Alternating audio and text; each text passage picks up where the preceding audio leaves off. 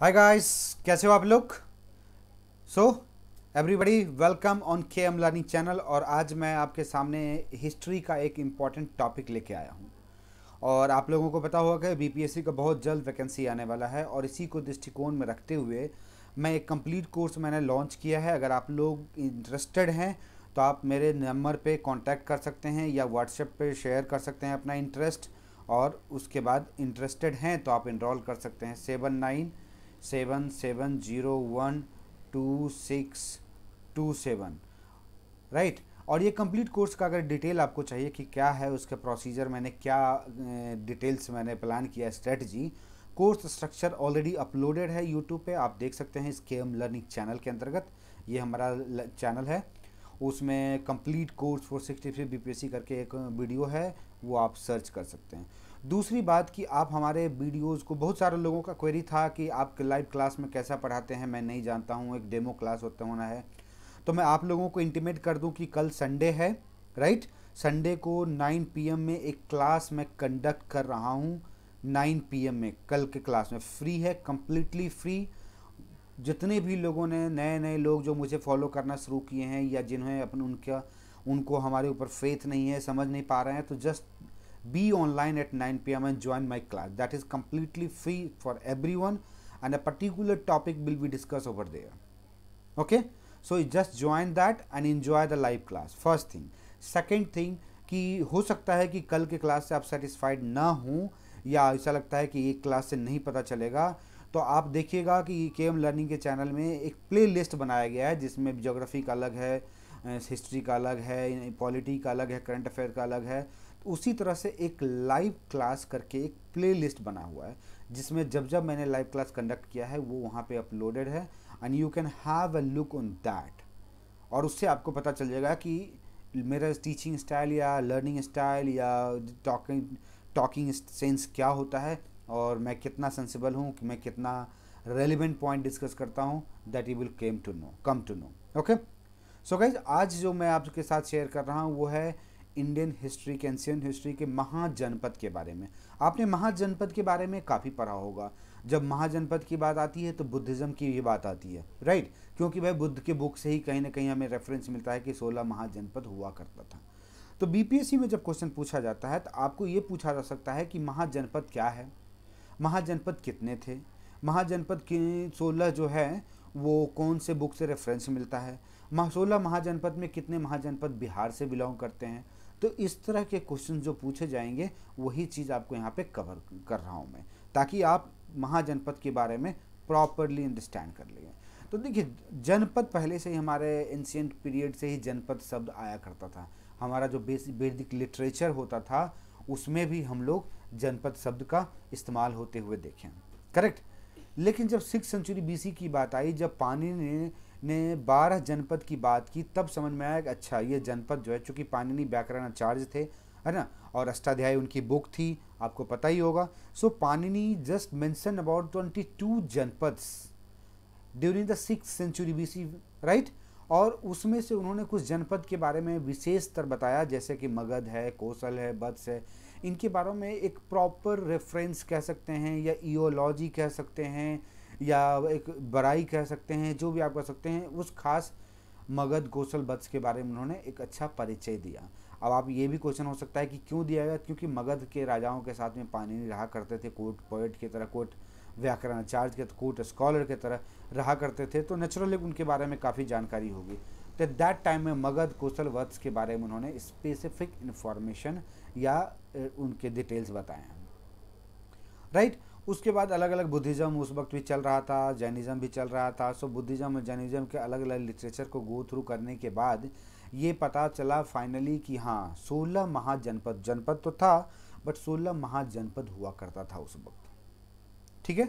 तो इसका जो महाजनपद का जो प्रॉपर इन्फॉर्मेशन मिलता है, बुद्ध के अंगुतर निकाय के बारे में आपने सुना होगा। अब कभी कभी ये क्वेश्चन पूछा जाता है, अंगुतर निकाय जो है, वो कौन से धर्म का ये रिलीजियस बुक है? सो अंगुतर निकाय इज़ ऑफ़ बुद्धिज़्म और ये महाजनपद के बारे में प्रॉपर डिटेल बताता है जिसमें हम लोग जानते हैं कि सोलह महाजनपद हुआ करता था राइट अब अंगुतर निकाय के बारे में जो महाजनपद का इन्फॉर्मेशन मिलता है वो ये देखिए कि ज़्यादातर जो लोकेशन था, वो विंध्यन माउंटेन के नॉर्थ में लोकेटेड था। अब आपके माइंड में आएगा कि भाई नॉर्थ ऑफ़ विंध्यन माउंटेन कहाँ है? एंड कहाँ से शुरू होता है? North west frontier to Bihar. Bihar के नॉर्थ वेस्ट फ्रंटियर से शुरू होता है। तो चलिए हम आपके साथ में थोड़ा सा ये शेयर कर लेते हैं मैप शेयर कर लेते हैं।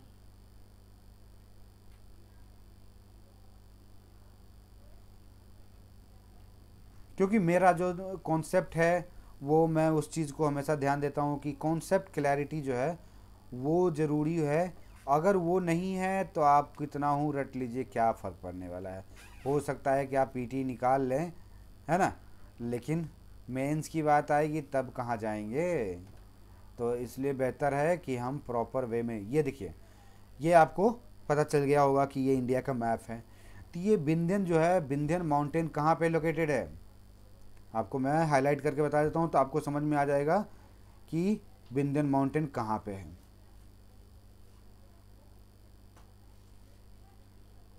ये देखिए। ये बिंध्यन माउंटेन ऐसे रहता है। ये वाला ब्लू कलर में आपको दिख रहा होगा।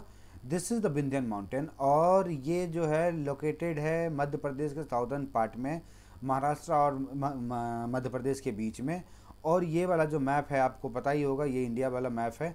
सो so, इंडिया के नॉर्थ वेस्ट फ्रंटियर यहाँ से शुरू होता है और यहाँ तक सारे महाजनपद किसी न किसी रूप में। मतलब क्या हुआ? कि ये वाला पूरा बेल्ट ऐसा था जो महाजनपद के लिए फ़ेमस था। अब यहाँ पे देखिए अंग। मॉडर्न मुंगेर और भागलपुर का नाम आपने सुना होगा। मुंगेर और भागलपुर का नाम सुना होगा। So it had to submit to Magadha. इसका मतलब क्या हुआ कि अंग जो था भागलपुर के इस बेल्ट में था। अब मैं आप थोड़ा सा मैप बना देता हूँ बिहार का।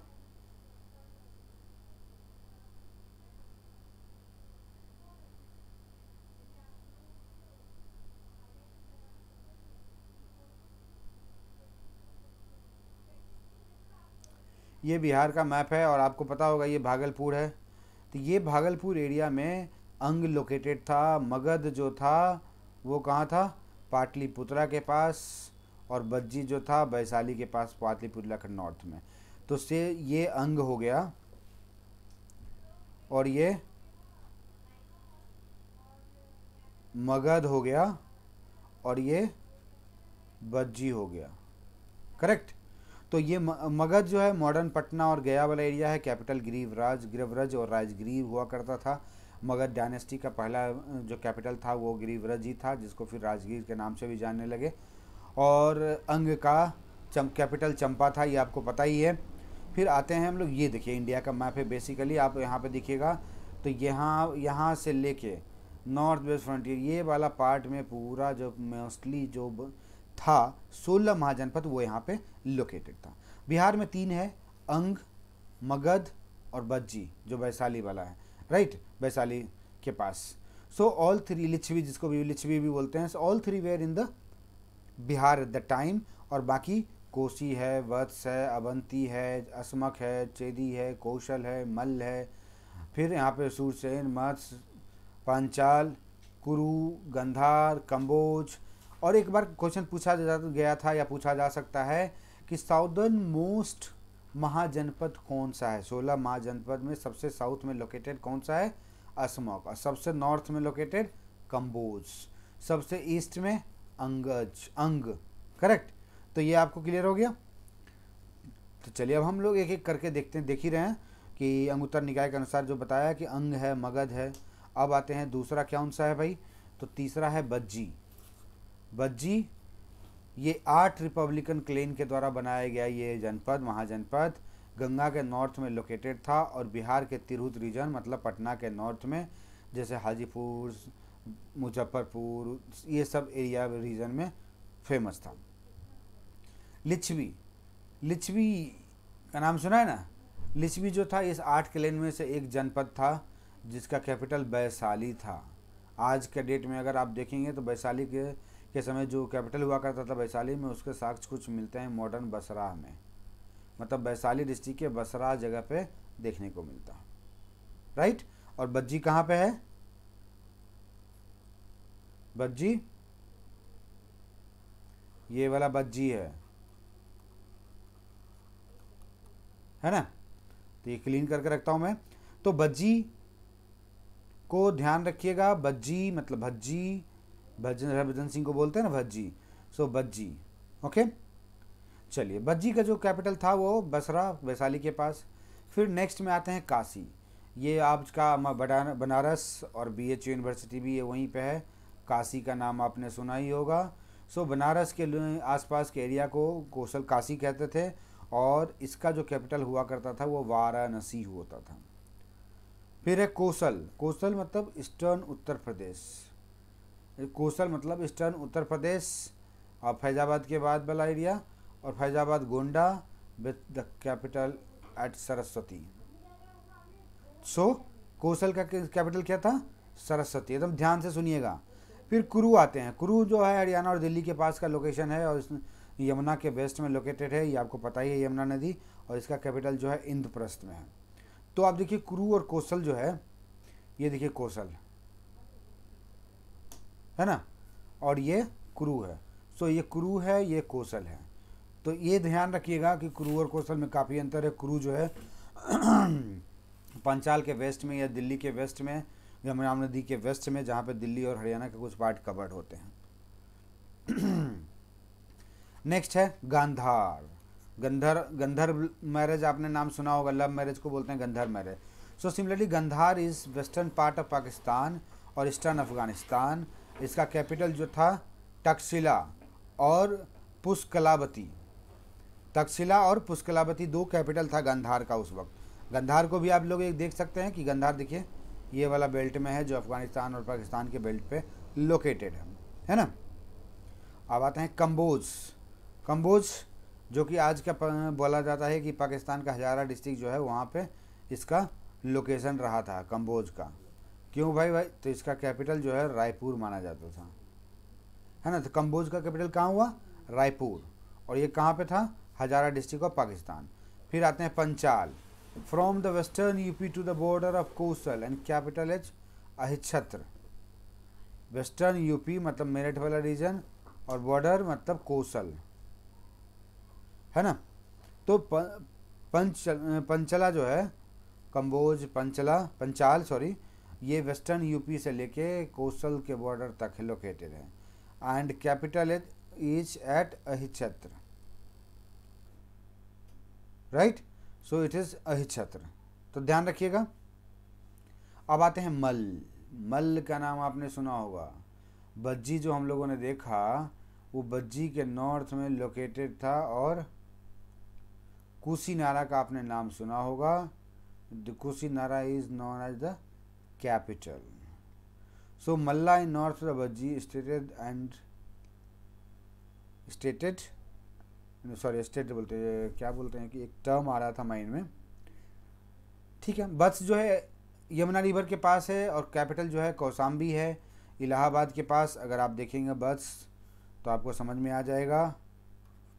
ये देखिए, ये वत्स है। उसके बाद एरिया जो कवर होता था वो इलाहाबाद और मिर्ज़ापुर। इलाहाबाद तो कैपिटल था ही बट मिर्ज़ापुर एरिया भी फ़ेमस है, वत्स के लिए। Chedi near the modern Bundelkhand Bundelkhand आज के डेट में जिसको हम जानते हैं, वहाँ पे चेदी है और इसका कैपिटल जो है सुक्तिमती है। चेदी का कैपिटल क्या है? सुक्तिमती। फिर Surasena capital at Mathura. Matsya near the area of Alwar, Jaipur. और Bharatpur. So Matsya is located in Rajasthan Alwar Jaipur and Bharatpur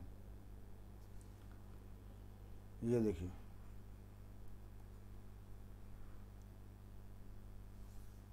दिख रहा है ना?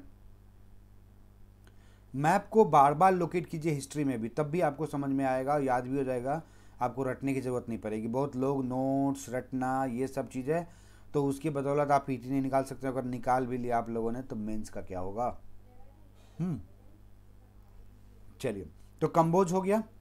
कंबोज हजारा गंधार का दो राजधानी तक्षशिला और पुष्कलावती। कंबोज का कर, आज का पाकिस्तान जो हजारा डिस्ट्रिक्ट है वहाँ पे है और इसका कैपिटल राजपुर है। Panchala from the western UP to the border of Kosala and capital at capital at Chhatra so Panchala का कैपिटल क्या है? अहिच्छत्र और बोला जाता है कि वेस्टर्न यूपी जो है, कोसल के बॉर्डर पे लोकेटेड है।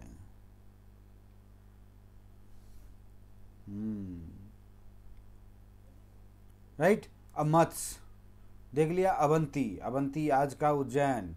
अवंती जो है, सेंट्रल मालवा में, मध्य प्रदेश में है, और इसका कैपिटल जो है, उज्जैन में है। और मनमही मनमहिष्मती का नाम आपने सुना होगा। सुना है ना? महिष्मती वही महिष्मती जिसके आधार पे मूवी भी बना है। हम्म? क्लियर हो रहा है ना? सो अवंती इज़ उज्जैन वाला एरिया सेंट्रल मालवा रीजन में मध्य प्रदेश में। उसी तरह Asmaka southern most and between Narmada and Godavari rivers very nice location एक तरफ़ नर्मदा को उपजाऊ नदी और पानी और दूसरा तरफ़ Godavari rivers in the transport hmm so Asmaka southern most and between Narmada and Godavari rivers in the Maharashtra and इसका जो कैपिटल है वो पोटाना है उसका कैपिटल जो है पोटना है ओके? तो ये आपका महाजनपद के बारे में था तो आप एक बार मैप पे भी लोकेट कर लीजिएगा, आप इंडिया का मैप बनाइए। इन सारे महाजनपद को लोकेट कीजिए और फिर हर जगह पे लिखते चले जाइए कि किसका कौन सा कैपिटल है। किसका कौन सा कैपिटल है? तब आपको समझ में आ जाएगा कि लाइव क्लास का क्या यूटिलिटी है और कैसे जो है इफ़ेक्टिव हो सकता है। ये लाइव क्लास में ही हो सकता है। तो कल नौ बजे रात में मेरे लाइव क्लास को ज़रूर इंजॉय ज्वाइन इंजॉय कीजिएगा ज्वाइन कीजिएगा। और ज्वाइन करने का सिर्फ़ और सिर्फ़ एक ही तरीका है, वो है क्या? सब्सक्राइब करना इस चैनल को लाइक करना और दोस्तों के बीच में शेयर करना। और हमारे लाइव क्लास जो कि चल रहा है ऑलरेडी कोर्स लॉन्च चुका, हो चुका है इंडियन जोग्राफी ख़त्म होने वाला है। तो अगर आप लोग इनरोलमेंट करने के इच्छुक हैं तो मेरे नंबर पे जो मैंने पहले स्लाइड पर प्रोवाइड किया था आराम से मुझसे कांटेक्ट कर सकते हैं व्हाट्सएप के थ्रू या कॉल के through okay so that's all for today do not forget to subscribe and share my channel thank you